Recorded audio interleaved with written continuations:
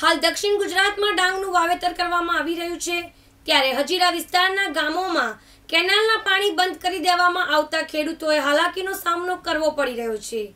વાવણી સહિત ઊભા પાકને પાણીના અભાવે થઈ ગયેલા નુકસાનને લઈને ખેડૂતો સિંચાઈ વિભાગની કચેરીએ પહોંચીને આવેદનપત્ર આપી પાણી આપવાની માંગ કરી હતી.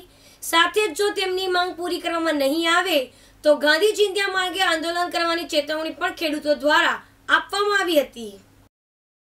પ્રાપ્ત વિગત અનુસાર ભટલાઈ ડામકા, વાંસવા, મોરા, રાજગરી સહિતના નવ ગામોને રોટેશન મુજબ પાણી નથી આપવામાં આવતું. અગાઉ માત્ર દસ દિવસ પૂરતું જ પાણી આપવામાં આવ્યું હતું. પછી પાણી બંધ કરી દેવામાં આવ્યું હતું. હાલ ડાંગરની વાવણી ચાલી રહી છે. તેવા સમયે જ પાણીની તાતી જરૂરિયાત છે.